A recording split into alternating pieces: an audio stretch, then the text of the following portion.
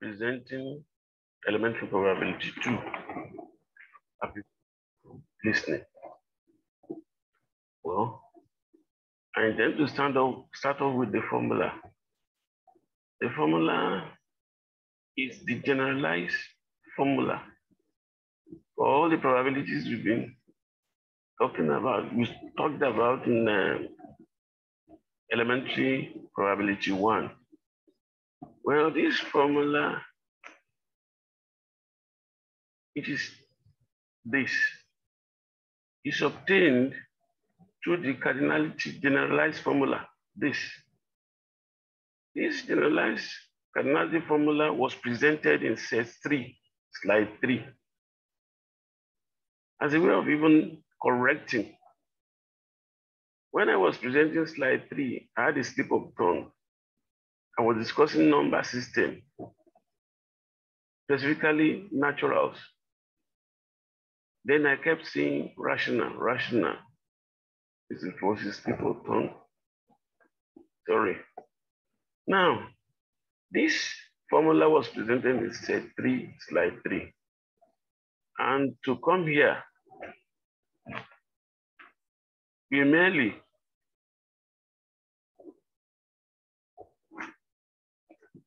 we merely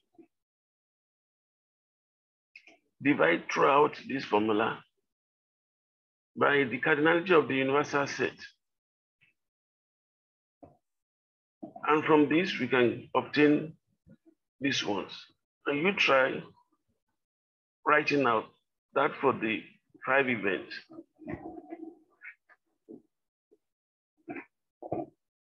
Conditional probability. Let them let A and B be events such that probability of B is not equal to zero.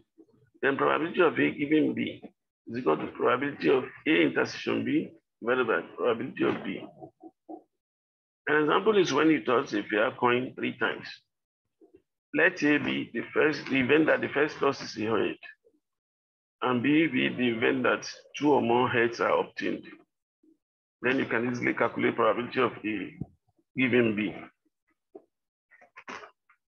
From listing, which we discussed in uh, elementary probability one and set theory, you would have known that the cardinality of the sample space is eight.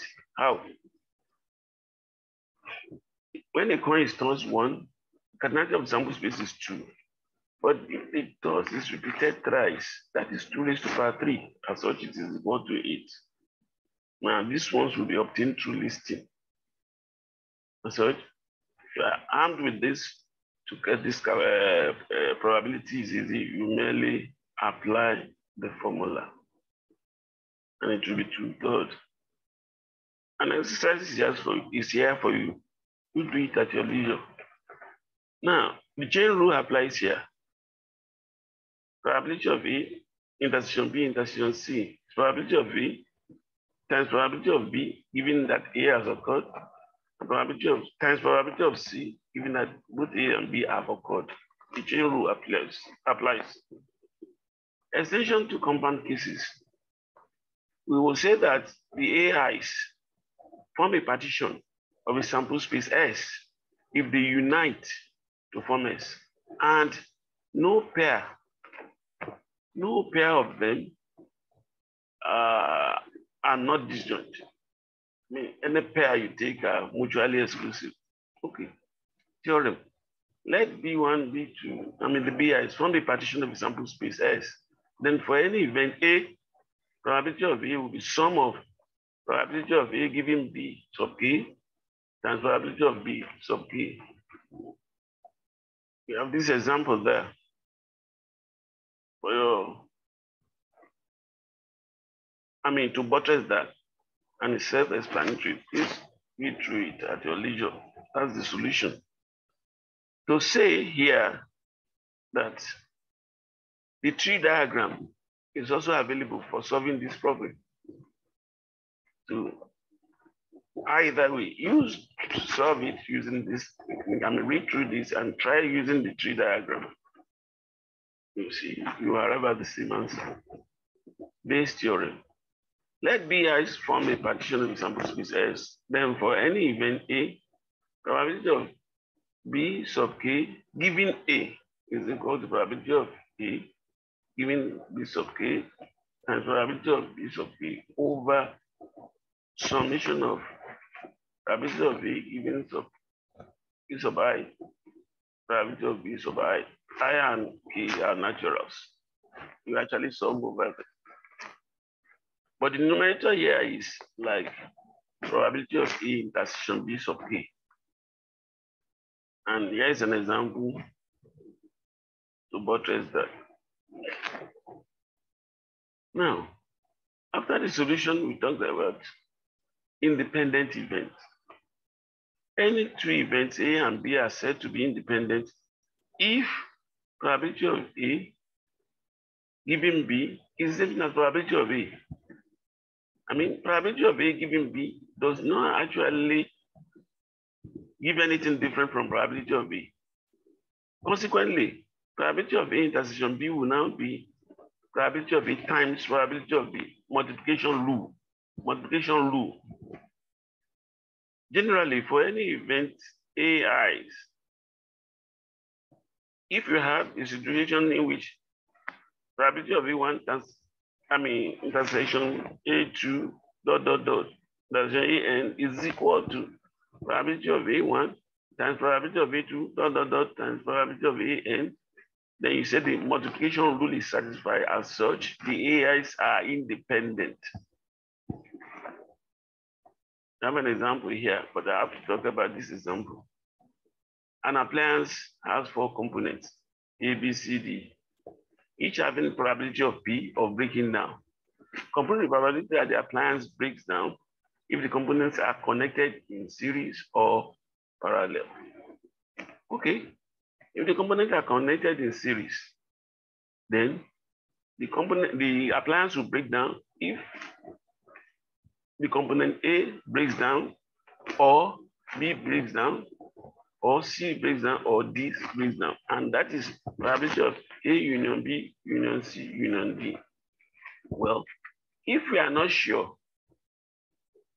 if we don't know, or we are not told that the A, B, C, D are independent, we'll have had to go back to the formula, the one I started with, in order to find the probability of A union B union C union D. But the fact that they are independent will avail us with this other method. We will merely apply the De Morgan's rule, De Morgan's laws.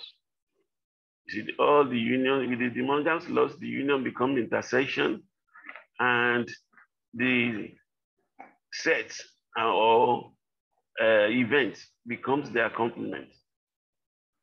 You see, that's why through Morgan's, you arrive here. For you to remove the complementation outside, you say one minus. And since when they are independent, their complements are also independent. This breaks down to this. And to remove the complement over each of them, it will be one minus P, one minus P. Mind it, P is probability that any of them breaks down. And that gives you this. But for the case that they are, in, they are arranged in parallel, it is for the um, appliance to break down, A will have to break down, and B will have to break down, and C will have, D will have to break down. So it becomes probability of A and probability of B and probability and each of them is P, so it's P to power four. Random variables. That's a numerically valid function divided over a sample space. There are two types, discrete and continuous random variables.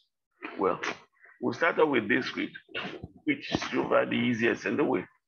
And with discrete and random variables, what you associated uh, function is known as probability mass function, piece of K.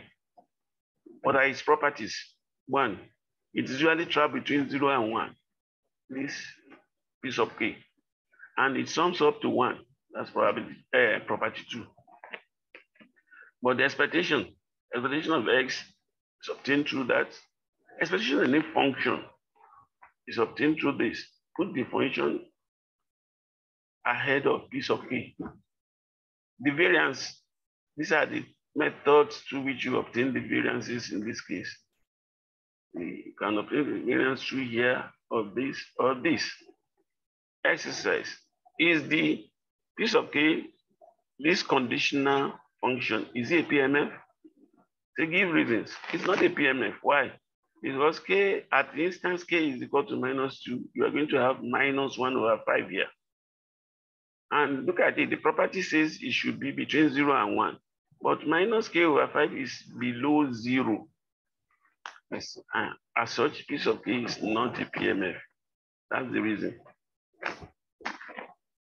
Well, the piece of cake can be given in this conditional way. It can also be given in the tabulated way, like this. Either way, it doesn't mean yes, uh, the expectation of the variance will be different. Go straight through this. The examples here is self-explanatory.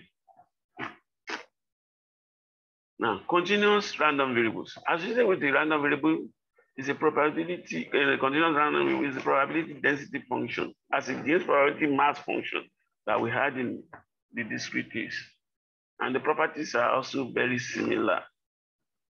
Yeah, you see, the f of x is trapped between zero and one, and its integral is equal to one. You see, there isn't much difference except that you are going to change the summation symbol to integral symbol. That's all. Change summation symbol to integral symbol. And then the formula for the expectation and the variance remains intact. We have the example here. Example says, find k such that this is bona fide, a bona fide PDF. When will it be a bona fide PDF? Mind it, this function here will always be in the interval 0, 1. And when you integrate over it, it should be equal to 1. Integrate over it should be equal to 1. So we're going to integrate over this integrand now in the interval specified 0, 2. And we equate it to 1. So we can easily get the k that will make it to be 1. After you do that and you get it to be to uh, 3, 8. Put 3, 8 there and you can now get your expectation and variance easily. Read through this. Self-explanatory. That's the farthest we tend to go in probability 2. Watch out for probability 3. Bye for now. Thanks for listening. Thanks. Bye and uh, God bless.